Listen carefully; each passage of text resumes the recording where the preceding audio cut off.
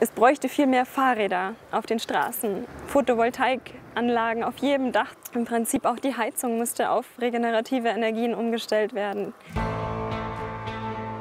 Klimaschutz liegt mir sehr am Herzen. Ja, da kann man schon mal gegen eine Wand laufen quasi.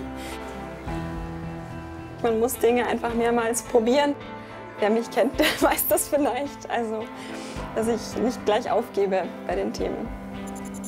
Ich bin Konstanze und arbeite in der Gemeinde Höhenkirchen-Siegertsbrunn in der Verwaltung im Bereich Klimaschutz. Der Klimaton ist eine Aktion, die geht jetzt sechs Wochen lang und wir haben eben diese Themenwoche Mobilität. Ach je, das ist ja das Feldlicht. Das habe ich allein organisiert mit den Vereinen hier im Ort. So, jetzt muss ich dem Kollegen draußen helfen. Weil ja Klimaschutz nicht nur auf Verwaltungsebene passiert, sondern in der breiten Öffentlichkeit. Letztendlich brauchen wir jeden Einzelnen, dass er mitmacht.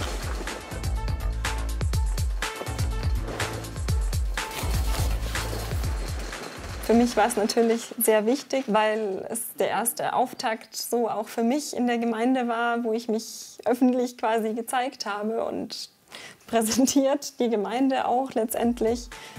Morgen. Guten Morgen. Und die Bürgermeisterin.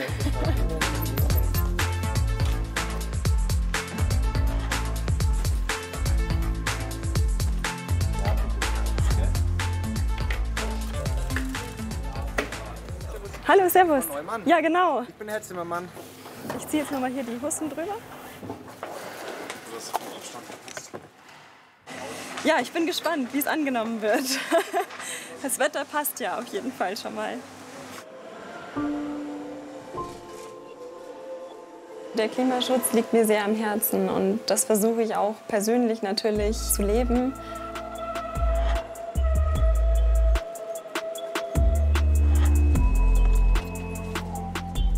Meine erste Station war in einem Umweltplanungsbüro in München. Da habe ich ähm, an Umweltverträglichkeitsstudien mitgearbeitet. Und dann habe ich in einer Beratungsfirma gearbeitet und habe verschiedenste Unternehmen vom Volksfestbetrieb bis hin zu den Stadtwerken beraten bei Umwelt- und Energiemanagementsystemen.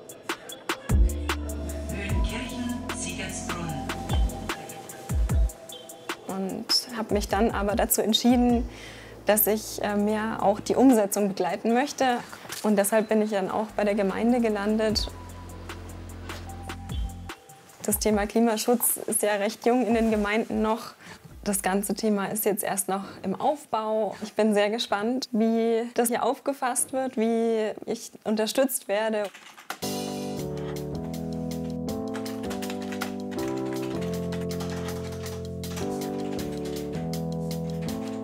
Ja, danke, wiederhören.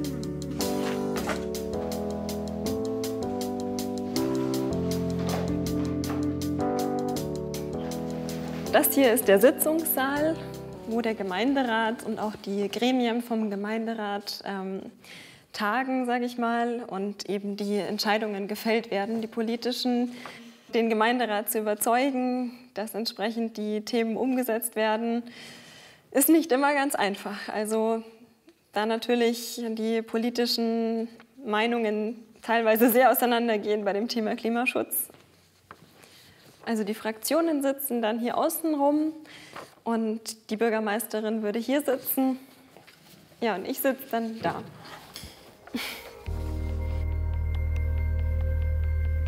Da muss man wirklich auch mit Gegenwind rechnen. Das ist schon manchmal sehr ähm, ernüchternd oder da muss man auf jeden Fall dranbleiben und ja, das ist nicht so einfach.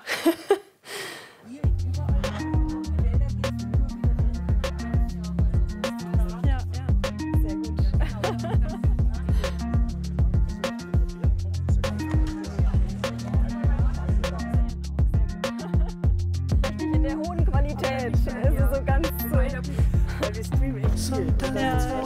Es ist auf jeden Fall enorm wichtig, auch die Leute direkt anzusprechen. Also gerade mit solchen Veranstaltungen, auch dass man bekannt wird im Ort und dass die Leute wissen, dass man existiert und dass sie sich an einen wenden können. Das macht Spaß, ja. ja, das gute Wetter hat wohl die Leute auch in die Berge gezogen oder in den See. Ja, das ist. Aber zumindest ist ein bisschen was los. Also. Es ist ein Anfang. Es ist nicht unbedingt leicht, so die Leute anzusprechen mit dem Thema, dass man im Endeffekt die Leute dafür gewinnt, die für das Netzwerk quasi dann genutzt wird. Oder die Gemeinde fängt jetzt an, ihre Gebäude Stück für Stück auf erneuerbare Energien umzustellen. Also Photovoltaik auf dem Wasserwerk ist zum Beispiel ein Projekt. Da ist jetzt eben die Planung so weit vorangeschritten, dass die Ausschreibung auch gestartet werden kann.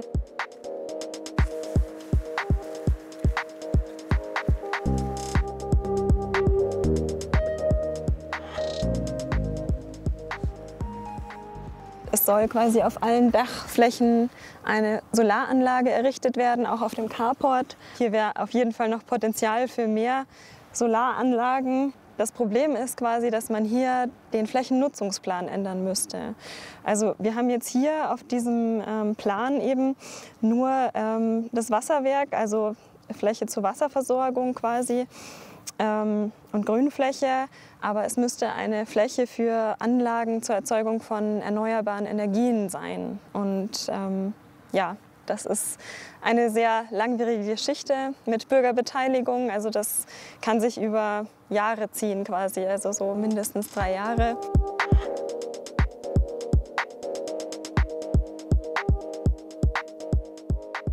Es ist verschenkter Raum und die Zeit haben wir eigentlich nicht. Und ja, an sich diese Fläche hier bietet halt zusätzlichen Nutzen für die Solaranlagen, weil das kühlt gleichzeitig die Module und dadurch sind sie auch leistungsstärker.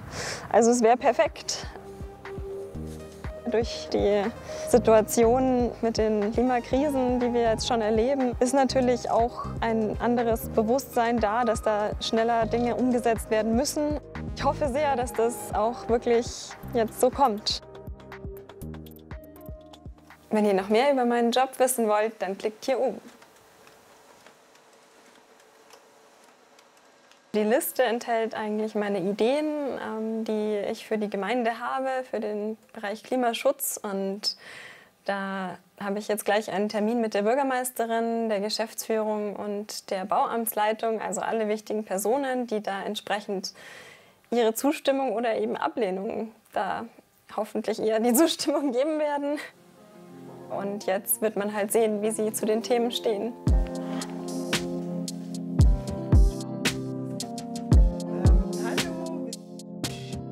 Ja, wir hatten ja am Donnerstag Gemeinderatssitzung und da waren ja einige Themen äh, drauf, die Sie äh, dann doch bearbeiten dürfen. Wir hatten drei Anträge drauf. Mhm, mhm, Der eine war ja von den Grünen, Photovoltaikanlagen auf den gemeindlichen Dächern. Mhm.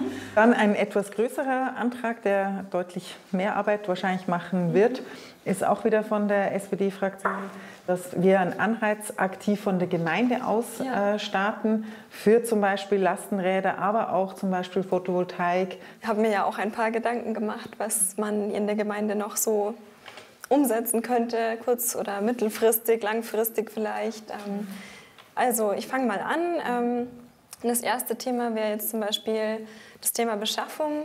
Man müsste halt überlegen, ob man Grundsatzbeschlüsse bei dem Thema auch fasst, zum Beispiel, ob wir Fairtrade-Kommune werden wollen oder eine Biozertifizierung anstreben. Ich hatte noch die Überlegung, ähm, wir haben ja auch vom Landkreis München ähm, wiederkehrend diese Treibhausgasbilanz, die erstellt wird. Mhm. Ähm, und da könnte man jetzt vielleicht auch intern noch das Ganze ausweiten, dass man auch direkte Emissionen, aber die durch die Mitarbeiteranreise entstehen, dass man das noch integriert in diesen Treibhausgasbericht, mhm. man, indem man eine Umfrage mal macht ähm, bei den Mitarbeitern anonym, wer wie zur Arbeit kommt und dass man dann entsprechend das integrieren kann. Mhm. Ja, und vielleicht dann auch einen Anreiz schaffen, dass wir jedes ja, Jahr um ja. so viel Prozent runtergehen. Genau, richtig.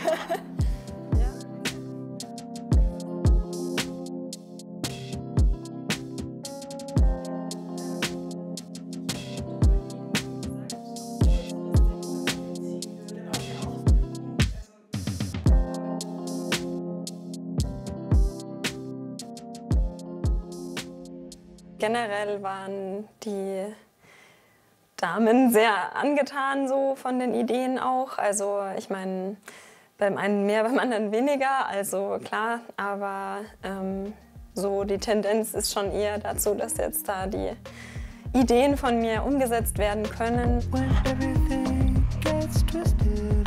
Wir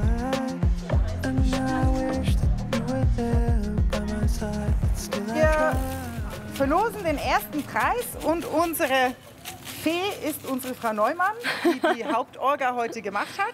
Sie dürfen reinlangen, nicht reinschauen? Also, den ersten Platz hat Jochen Kühlbrei. Jochen Kühlbrei.